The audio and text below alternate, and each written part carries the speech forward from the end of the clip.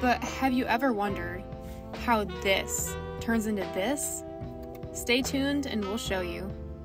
It all starts here, at the computer, where we create the design for our beehives to be cut on our CNC machine. What is a CNC machine, you might ask? Well, this is a CNC, or Computer Numerical Control Machine.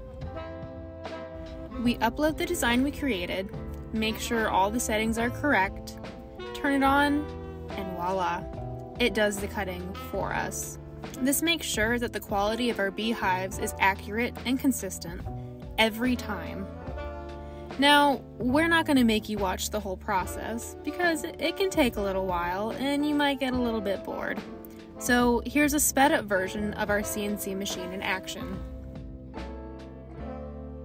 Once they're cut, we pop the pieces out, assemble them in our workshop by hand, and give them a fresh coat of paint.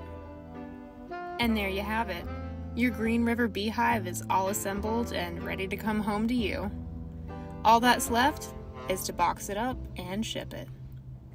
Thanks for watching, and if you enjoyed the video, give it a like. And find us on social media at Green River Bee Company.